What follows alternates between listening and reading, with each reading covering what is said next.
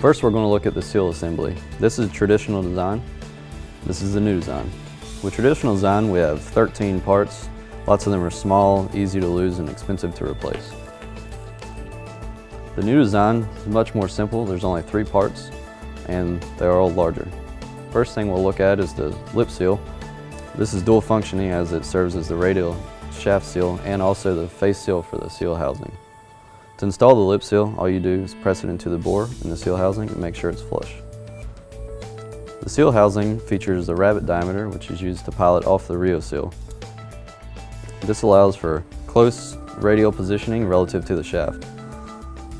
The Rio seal also features a pilot diameter which is used to pilot off the ID of the B-bearing. This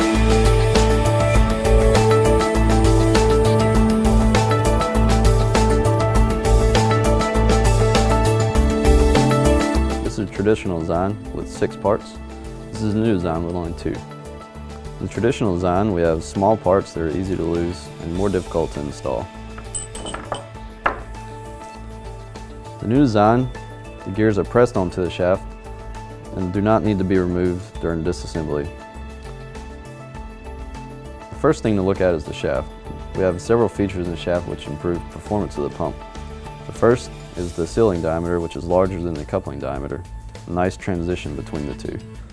This allows you to install the lip seal without worrying about damaging the lip seal on the keyway. Another thing to look at is the difference in the bearing diameters. The front bearing diameter is much larger than the rear bearing diameter. And this allows you to install the shaft into the B-bearing properly. The driven gear and the arbor also incorporate the same design features.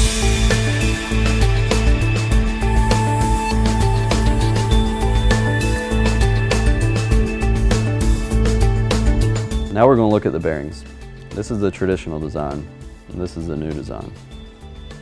In the traditional design, there are six parts, four of which are D-bearings, which are called D-bearings due to their shape. Two of which are these small keys which are required for proper installation of the pump. These keys are used to align these two D-bearings and can be easily forgotten. Also, due to the similar shape of these bearings, you can put the wrong ones together without realizing it. This can cause pump failure in the new design, we have patented B-bearings. These are called B-bearings due to their shape. In this design, there are only two B-bearings to replace the four D-bearings and the two keys. These bearings are identical and they can be used on either side of the gears. These B-bearings are asymmetrical and can only be installed one way. I'll demonstrate this by installing a shaft into the bearing.